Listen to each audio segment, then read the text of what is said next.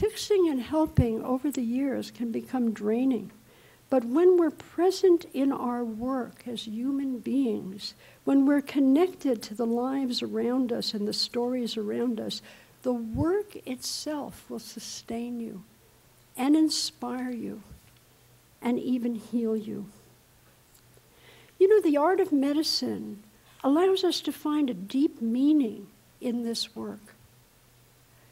Um, to be there more than just as an intelligence Meaning is not a function of the intellect, meaning is a function of the heart. And I no longer think of the heart as a kind of a valentine. I think of the heart as an organ of vision, a way of seeing, which, when we see with the heart as well as with the intellect, allows us to see the significance below the surface of things, to see the meaning in most ordinary events and in the routine and be strengthened by it.